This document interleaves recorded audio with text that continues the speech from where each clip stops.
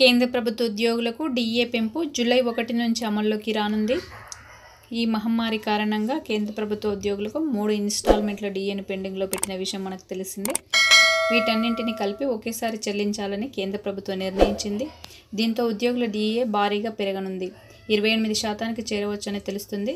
దీని పట్ల ప్రభుత్వ నిర్ణయం పట్ల ఉద్యోగులు హర్షం వ్యక్తం చేస్తున్నారు. ఈ వీడియో మీకు నచ్చినట్లయితే లైక్ చేయగలరు షేర్ చేయగలరు. Thanks for watching this video. Thank you.